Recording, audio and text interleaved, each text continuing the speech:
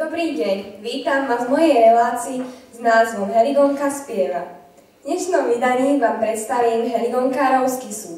Títo umelci absolvovali už veľa heligonkárskych prehliadok a súťaží, sú známi nielen doma, ale aj v zahraničí.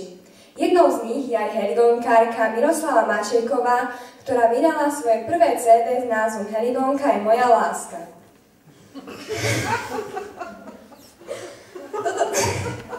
toto CD obsahuje zmes ľudových piesní, ale aj instrumentálne skladby v jej podaní. Miroslava si rada zahrá pri každej príležitosti a preto sa nám dnes predstaví v živom vysielaní. Hrá na helikonke Miroslava Mačíková.